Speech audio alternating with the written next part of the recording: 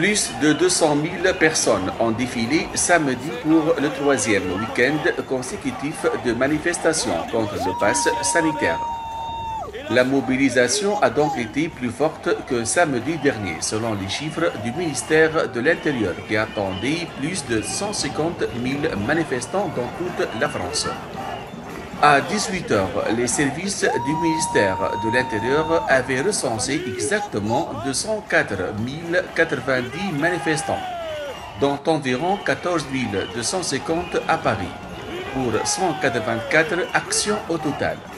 Samedi dernier, ces manifestations avaient réuni au total 161 000 personnes, dont 11 000 à Paris. Regroupés autour des hashtags Manif 31 juillet et passe de la honte sur les réseaux sociaux. L'opposition aux mesures pour lutter contre le Covid-19 fédère des manifestants anti-pass sanitaire, anti-vaccin ou anti-confinement aux revendications protéiformes. Dans les cortèges où figurent également de nombreux gilets jaunes, les manifestants fustigent un pass sanitaire liberticide et affirment marcher contre la dictature.